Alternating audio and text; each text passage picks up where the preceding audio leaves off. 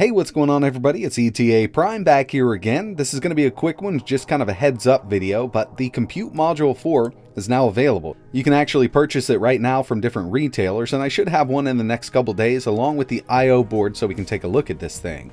Now overall, I'm loving the idea behind this. We have the same power as the Raspberry Pi 4, but the form factor is totally changed from the Compute Module 3 or the Compute Module 3 Plus. And what this means is Products and projects that already use the existing Compute Module 3 or 3 Plus will not work with this, or this will not work with those projects. I had really high hopes that they were going to stick with that SODIMM form factor, but unfortunately, it's totally changed, and it's definitely changed for the better. But this means that all of the products that use the original Compute Module, the Compute Module 3, or the Compute Module 3 Plus are not compatible with the Compute Module 4.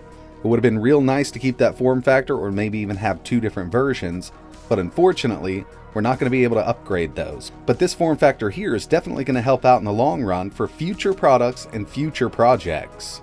So here's the Raspberry Pi Foundation's blog on the Compute Module 4. I will leave a link in the description in case you want to read through this. But basically, we'll just go over the specs real quick. We have the same CPU as the Raspberry Pi 4. It's a 1.5 GHz Cortex A72 CPU. Same VideoCore GPU, it supports up to OpenGL ES 3.2 at the moment, 4K 60 hardware decoding at H265, 1080p 60 hardware decoding, and 1080p 30 hardware encoding at H264.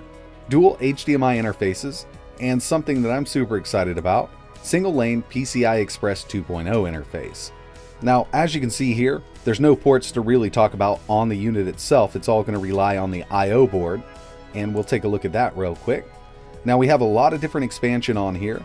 Full-size HDMI, Gigabit Ethernet, USB 2.0, micro SD card, our barrel jack in for power, this will take 12 volts in, RTC battery location, 40 pin GPIO header. We have our camera connectors here. If we get in a bit closer, you can see we have that PCIe X1 slot. So we can add different PCIe expansion cards here. Now a video card's not going to work out of the box, somebody's probably going to get something working, but still it's only going to be running at X1 speeds. And I'm sure somebody will get a video card working with this I.O. board and the Compute Module 4. I mean, it's just a matter of time, that's really how it is.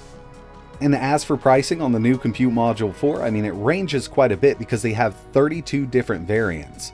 You can get them with 1 gig of RAM, 2, 4, up to 8, you can get them with no built-in eMMC or from 8 gigabytes up to 32. You can also choose to opt out of Wi-Fi and Bluetooth. So overall, there are 32 variants of this, and it ranges from $25 up to $90, and that does not include the I.O. board. The official I.O. board is sitting at $35, and I will tell you right now that this is not for media consumption or anything like that. This is for embedded projects. And in time, few months or so, we will have some awesome little Raspberry Pi Compute Module 4 handhelds and laptops available. I'm sure these manufacturers are going to jump right on this. But like I mentioned at the beginning of the video, this isn't going to be compatible with existing Compute Module 3 or 3 Plus products. I was hoping for that SODIMM form factor so we could just drop a Compute Module 4 and upgrade that unit, but unfortunately that's not how it is right now and we will have to wait to see what different manufacturers come up with as handhelds and laptops and different products with the Compute Module 4. But yeah, there's a lot more to this, and I will have one in the next couple days. I'm going to do a full review, we'll do some tests with that PCIe slot and everything like that.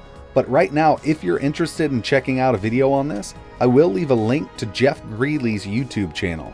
He was actually lucky enough to get a hold of an I.O. board and a Compute Module 4. He's got a video out right now and he does a lot of testing with it, so that will be linked in the description. Definitely check his channel out, he is amazing with the Raspberry Pi. But that's pretty much it for this video. Really appreciate you watching. Definitely keep an eye on the channel because I do have the Compute Module 4 along with the I.O. board on the way. I will have a full review coming up in the next few days. So if there's anything at all you want to see tested on this new unit, just let me know in the comments below. And I'd also like to know your thoughts on this new design. It's super compact and instead of using the SODIMM pinout, it's actually using two 100 pin high density electrical interface connectors. So we have 200 pins going into the I.O. board or whatever product is going to be using this in the future. I love the fact that on the higher end models they were able to pack in eMMC storage, Wi-Fi, Bluetooth, and even an Ethernet controller chip along with that Raspberry Pi 4 CPU. I believe this is going to turn out to be really awesome for embedded projects, and it's also going to be pretty awesome for handheld devices. Handheld computers, handheld emulation systems, You name it, we will see those in the future, but it's going to take a little bit of time. But I can't wait to see what comes of the new Compute Module 4. That's it for this video. Really appreciate you watching. If you have any questions, let me know in the comments below. I'm also going to leave all links for everything mentioned in this video in the description. And like always, thanks for watching.